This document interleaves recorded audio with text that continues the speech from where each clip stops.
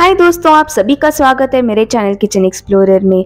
आज हम लोग देखेंगे नई रेसिपी वो है चोले कुलचे की। हम इस रेसिपी को बेसिक इंग्रेडिएंट से ही बनाएँगे और बहुत यमी लगता है खाने में। अगर आपको मेरी रेसिपी पसंद आई तो फिर लाइक शेयर ज़रूर करना और नए हो तो फिर सब्सक्राइब करना मत भूलना।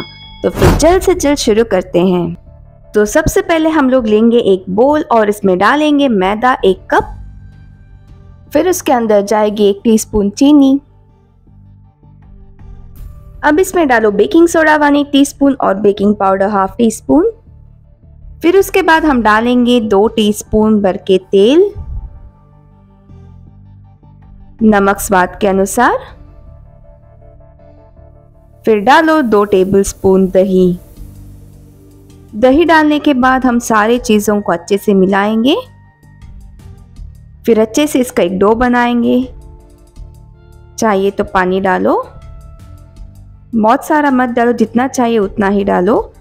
फिर एक मीडियम सॉफ्ट डो बना के उसको रख दो दो घंटे। तो तब तक हम चोले बनाएँगे। तो यहाँ मैंने कढ़ाई में एक टेबल स्पून तेल डाला है।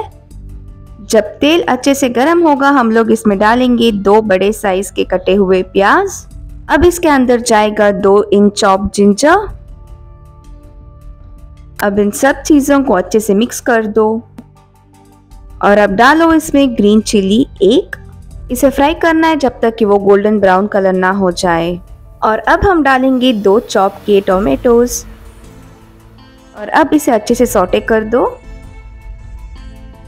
अब डाल दो उसके अंदर थोड़ा सा नमक ताकि हमारे टमाटर जल्द से सॉफ्ट हो जाए। मिक्स कर दो इसे अच्छे से।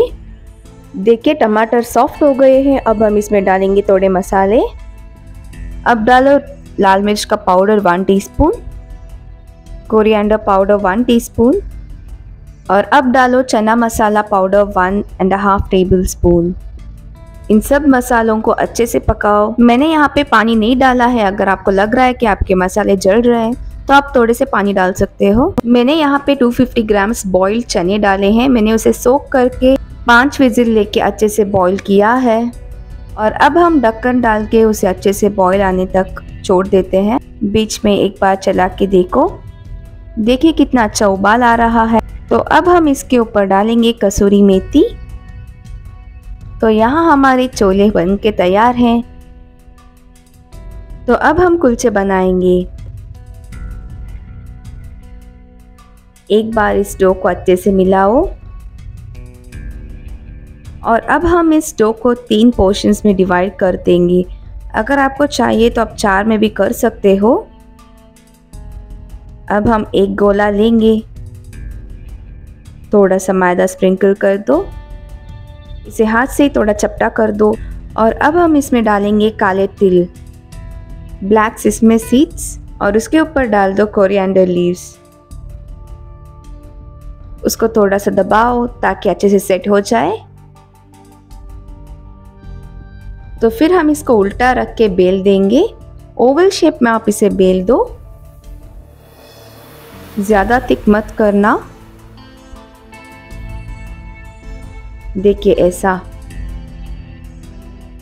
तो अब हम इसमें थोड़ा सा पानी ब्रश कर देंगे। उसको पलटना मत।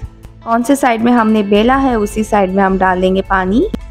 फिर एक आयन तवा ले लो और उसके ऊपर डाल के इसे अच्छे से प्रेस कर दो। एक मिनट हम इसे ऐसे ही पकाने के लिए छोड़ देंगे। देखिए छोटे छोटे बबल्स दिख रहे हैं ना? तो अब हम इसे उल्टा करके पकाएँगे। उसे चारों तरफ़ घुमाओ, ताकि वो सारे साइड में पक जाएँ।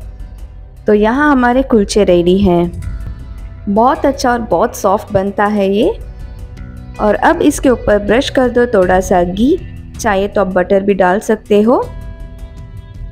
यहाँ हमारे चोले कुलचे की रेसिपी रेडी है। अगर आपको मेरी रेसिपी पसंद आई तो उसे लाइक शेयर सब्सक्राइब करना मत भूलिए और कमेंट करके मुझे बताएँ कि कैसी लगी आपको ये रेसिपी तो फिर मिलते हैं नई रेसिपी के साथ। तब तक के लिए टेक केयर एंड बाय